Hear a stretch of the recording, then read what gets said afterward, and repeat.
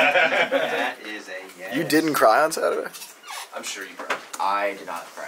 I immediately left the bar and almost freaked out. Bro, you're a psychopath. You're gonna end up in like jail. No, I really am. like a barstool rundown topic, like Duke fan goes to jail. Fucking crying it up. What happened? Coach K lost the game. I'm gonna give him a bench. Championship. Oh, but it's it's it's legendary. That's that's gonna be talked about forever. That You basically tarnished his legacy. Yes. You Yes. his last game ever versus arch rival. It's supposed to be this huge homecoming, and you pissed in his mouth. That's what you did to him. You know? so fucking douchey. The people crying afterwards, fucking losers. I can't believe that Duke has the the fan base that it has because I know they win, but everything about them so fucking unlikable and lame. I, get a text from Eddie yesterday, being like, "Do you want to come on the Dave Portnoy show?" And I was like, "Why? what is what is going on here?" And he was like, "No, I just like I've been meaning to have you on for a while." And I was like, "Okay." Um, I was like, "Should I come like ready for a war? Or, like what's going on?" He was like, "No, no, I just want to like." He was like, "I just figured you might have some things you want to air out too, or some gripes." And I was like. I'm not gonna go on this show and just randomly pick a fight about shit. I don't know what's going on. So my prediction is that my prediction is that it's gonna be like like, okay, like bang bang, welcome to Dave Portnoy show, we got KFC on the show, and Dave's gonna be like, Alright, so what's up? And I'm gonna be like, What you had me on your show, and he's gonna be like, I didn't have you on your show, Eddie picked me. Eddie Eddie Eddie had you on the show, and then then it's gonna be up to Eddie to do what he wants with it, so We appreciate that. People liked it, I would enjoy it from that. I I guess I'm trying to remember. Dave said when he hated doing radio with me, and I, and I feel like that show was hard because it was like I knew two hours every day we were gonna butt heads, we were gonna argue, we were gonna, you know, whatever. But I also knew that's what people wanted. So to me, I was thinking of it like I'm a showman. I got to put on like a show for the people. Um, and I would walk out of there, you know, sometimes being like, Dave's a fucking idiot, but I would never walk out of there being like, I hate that show. Like to me, it was, and that might be my like radio background. Like, Sirius was strange because Sirius wasn't like considered this, you know, uh, like this royalty radio channel. You know what I mean? Like WFAN was. It was like kind of just like the channel we put together. What's up? Did you go on for Tim Cobbett Day? I actually forgot, I forgot to mention it. It- Eddie was like, "You want to come on the show?" And I was like, "What is going on here?" Uh-oh, and yeah. and I ser- I think to all like to Austin because to Kareem, I was like, "What's going on here?" They were like, "I don't know, I don't know." And then Dave, he literally put his hands up. He's like, "I don't know what's going on." I think he just, uh, Eddie just wanted to like stir the pot and try to get me to talk business and shit like that. But it went fine. But he hates me like poison. Um, but I would, uh, to me, like I got a drive time radio show in New York with Dave, like two hours in the in the evening. That was something growing up, like you know, listening to Francesa and the fan. That was like you know my dream. But I don't think he ever, he doesn't think that way. He was just like it's just something I got to do for the company. So to me, I was always a little more like whatever. The show is a grind, but that's what we do. That is Mike and the Mad Dog. That is you know they did grow to hate each other. I guess he uh, he just hates me more. Can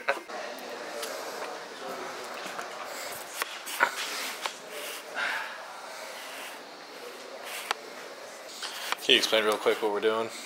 Uh, so in order to get subscribers for the YouTube challenge, um, I'll be doing a PSA uh, for beard cover ugly, which is a disease many people are afflicted with, but Kevin perhaps more than anybody.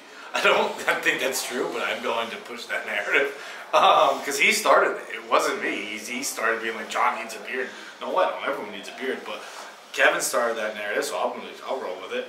Um, so we're gonna do a PSA. It's gonna be kind of a Sarah McLachlan. Um, I don't know, you know, the pot-bellied kids with the bugs on their eyes, that kind of that commercial, that one, that kind of mashup. Um, but yeah, beard cover ugly. Hashtag. Uh, what is it? Hashtag. One click, one share, one cause. and, and we're gonna we're gonna knock this fucking disease out. But we're gonna start with Kevin, and then from there, just a nice fucking snowball effect of who we will save, and, and when we'll save them. Unfortunately, Fuck, man, this is gonna be hard. Alright, fuck it, let's go, baby.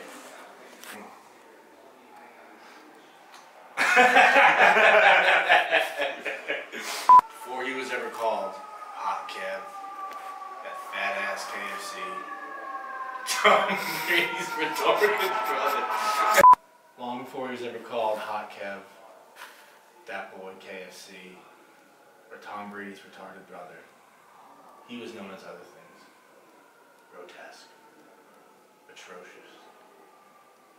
Down there, fucking disgusting.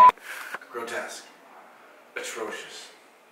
Downright fucking disgusting for some reason. That's so mean.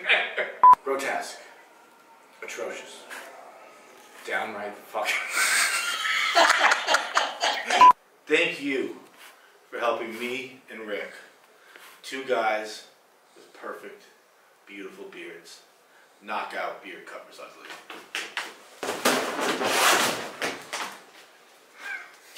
Think he's gonna like that? I think he's gonna like that, yeah. So, thoughts on the video? Oh, I didn't watch it. I don't give views to my competitors. Okay. I, I've heard tale of, of the, the general theme of it, but I didn't watch it. Sure, it's sure it's mildly funny, just like Feitelberg. so um, we might be adopting a kid. KFC Radio's gonna adopt a kid. Yep. Off for sock? We went to uh, we went to the Big East last night. We were at the Team Impact charity event, and what they do is they connect kids mostly with athletes. They have them do like a signing day. They become a manager of the team. They become like a mascot. They hang out with the athletes. We're gonna we're gonna sign one. We're gonna sign ourselves a kid. we gotta find a kid with some incredibly cool parents. Find some uh, age appropriate material for him. But we're gonna have ourselves a KFC Radio mascot between the ages of like nine and fifteen. It's gonna be great. We're gonna make this kid a fucking star. This kid's gonna have like 250,000 followers overnight. We're gonna make this guy an internet celebrity. I've just been asking what our Roblox plan is. There we go. There we go. We got a kid. We got a fucking kid. There you go. Do we get to name the kid or not rename it?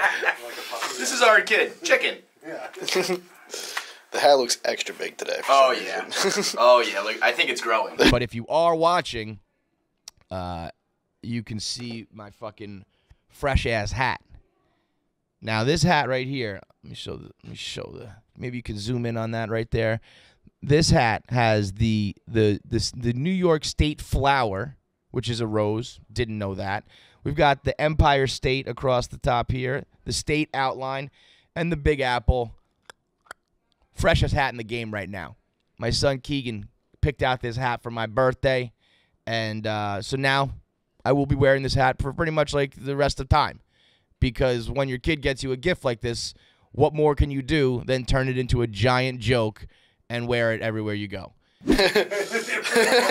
he looks so much bigger. Dude, I- as I was walking to the to, to the office, um, since we're near the garden, a bunch of like bros are going to the Big East tournament, and we're just we were just standing at the at the corner waiting for the light to change. And this guy just looks over at me and goes, "I like the hat." like, thing is getting more and more ridiculous by the second. Happen to look at Stu Feiner's now deleted tweet because it's wildly inappropriate. Stu, that one maybe we should have kept in the chamber. I mean, in general, all of Stu's tweets are wildly inappropriate, but this one, super problematic. On my anniversary, it's only fitting that uh, the pig I am, I rate my hottest women at Barstool Sports top 10. This is. We First of all, couldn't even crack the I'm top not 10 of Stu Feiner, girl. I don't think that he knows. I don't think I'm like. Oh, he doesn't know you're I don't think he like knows who I am. I feel like if he Uh, knew if he J knew Nix what it 415, that maybe. This is rude to film this. I'm not wearing makeup today. Just if anybody's, you know. Um, I don't even care. No, I like. I No, don't yeah, totally. It looks like you don't care at all. No, I, I, and Totally uh, because unbothered. women support women, and True. so you know, You know what it is? It's you really- are a woman, Like, this is what it's about right here. but Since it's International Women's Day, I made this for you. you are a So, woman. That's yeah. not even like. Yeah, so you can like, we can like hold this up, or we can hang it over your head, and we'll take a picture. You know what? I'll, I'll just hold it over your head. And But how is that celebrate? It's not even like being complimentary. It's just well, I saying mean, that I it's am a International woman. Women's Day, and you are in fact a woman. So you know, But how? it's like happy day for you. I feel like you think that this is a better gesture than it is. It doesn't really like show your support for me at all. um, I don't think that he. I don't. It's. I've never talked to him.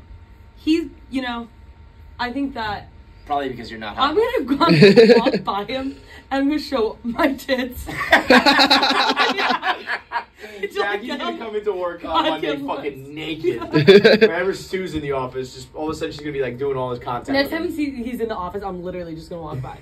Honestly, I think it's fair to say that out of every show and every franchise, nobody crams more into every week than KFC Radio. Just look at the past couple weeks. We dropped new pairs of sneakers. We dropped multiple live shows. We had Mark Wahlberg, Boys Week. This week we had Shane Gillis, Tommy Pope, Chris O'Connor. We had uh, we switched over Kevin Clancy's show to uh, live on YouTube. We did an Ask Me Anything.